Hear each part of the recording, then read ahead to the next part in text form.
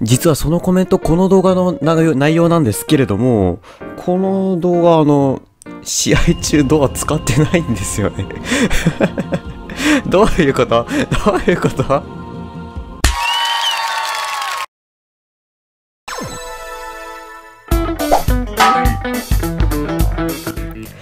はいどうもこんばんは、ふなです。今回はコンパスやっていこうと思いますが、今回は手短に話していきます。あのね、ドアが必須かどうかっていうことについてなんですけれども、正直必須じゃないです。うん。っていうかね、あの、ドア必須ですかっていうコメントしたその動画にね、ドア使ってるシーン一切ありません。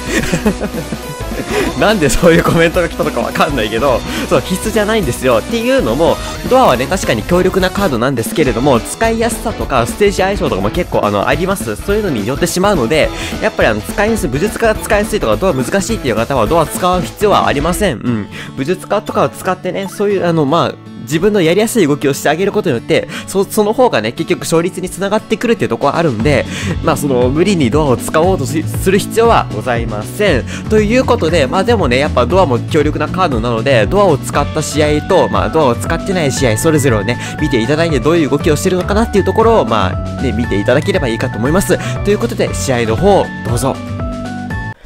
はい、というわけで、リプレイの方を見ていきましょう。で、今回はスプタンでございますね。グッサフとソーンとミクでございますね。で、ライブステージなんで、まあ、なるべく手前側4つ ,4 つのポータルのうち3つを確保しておきたいところでございます。やっていきましょう。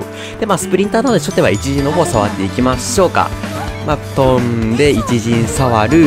で、ここでガード切ってもいいんですけれども、二陣でね、ちょっと耐久したかったので、まあ、ガードは切りませんでした。で、敵がポータル触ると同時に、ガードと回復じゃない、ガードドアでこう引き分けさせないように、ポータル正直ね、初手取るっていう動きをしても良かったんですけれども、ポータルを広げさせないだけでも十分取り返す手段としては有効なので、うんうんうん、それを狙っております。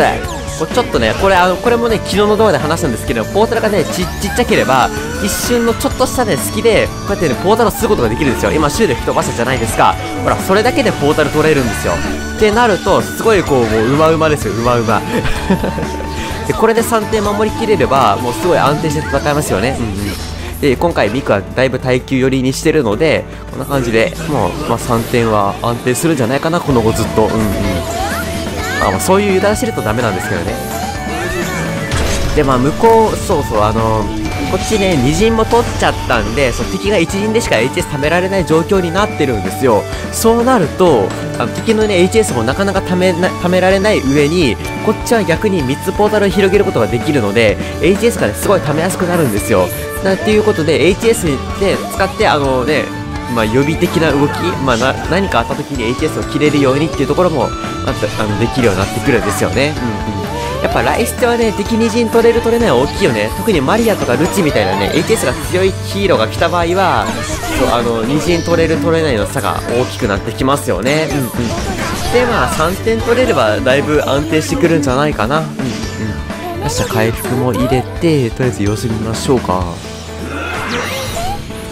もうすることなくなってきたね もうミクすることなくなってきたね。とりあえずもう HS 溜まってるんで、敵陣踏んで HS を試させないようにっていう動きをするべきなのかなと思ったけどさ、ですらもう、すぐ溜まるしさ、触ってもすぐ溜まるしさ、ルーク溜まってるしさ、なんかどうしようもない感じあるよね。うんうん。あ、グッサフが飛ばされたんで、守りましょうか。ミクのアビリティの回復があればね、グッサフはちゃんと守れるんで、こう、横、隣くっついてあげて、回復回復ですよしよしいい感じいい感じサイレント罠がサイレント罠が当たった家が家が張れば当たらないのに。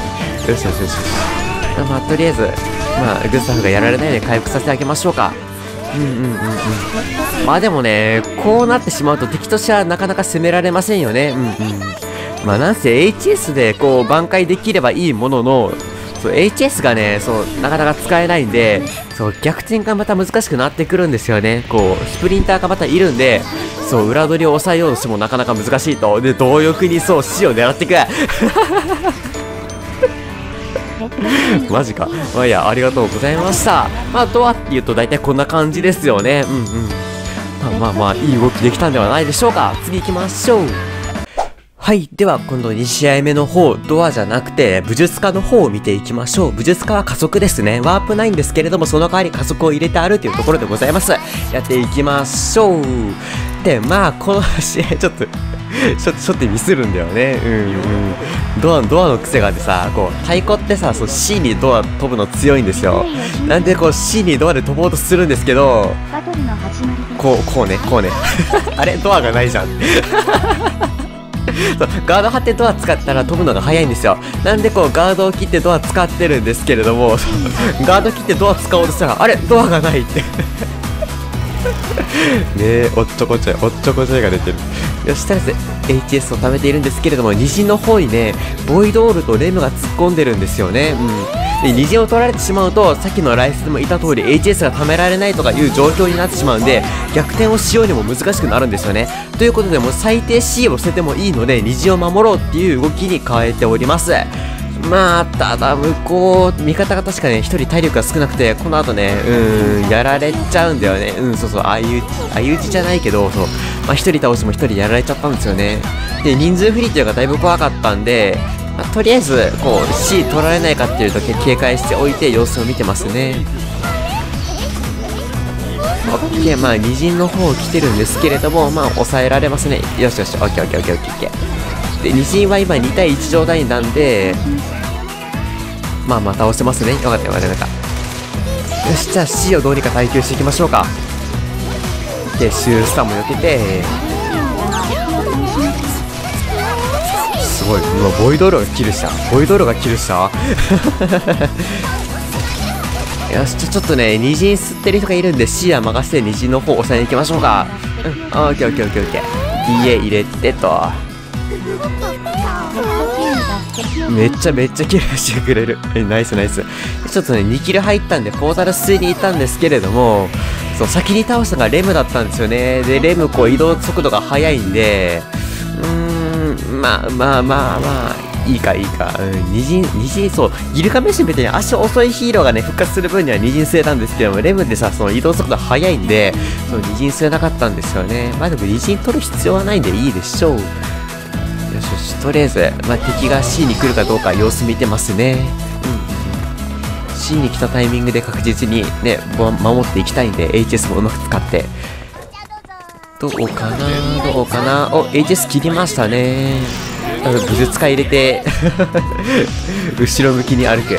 で、シュースターも飛んでくるだろうと思ってたんで、ちゃんとガード張って耐久していきます。よしよしよしよしよしよしよし。まあもう大丈夫かなもう大丈夫かな HS も残ってるんで、うんうん。よし、ガードをうまく回していきましょう。地震の方とかは狙われてないかな大丈夫だね。地震狙われてないね。C にみんな集結してる感じ。う可能で、可能で食らっちゃった。HS 切っちゃいましょうか。残り10秒とかでやられちゃうと、それこそ大変なことになるんで、うん。HS 切っちゃいましょう。で、まあ、HS、あの、レムが HS 入れたんですけども、これもまあ、問題ない。OK! ありがとうございました。はい、というわけでいかがだったでしょうかやっぱりそのドアがあっても、武術家であっても、まあ、武術家でもドアでもなく、こう、シューを2枚とか入れてても、やっぱりね、十分活躍してくれるのがミクなんですよ。ちゃんとね、味方の回復でサポートするだとか、まあ、その状況判断をしっかりできれば、十分ね、あの、やっていけるヒーローなので、まあ、やってみてください。はい、というわけでご視聴ありがとうございました。これからもミグ使ってきたよという方のために動画出していこうと思うんで、ぜひぜひチャンネル登録、高評価よろしくお願いいたしますします。ということで次の動画でお会いしましょうバイバイ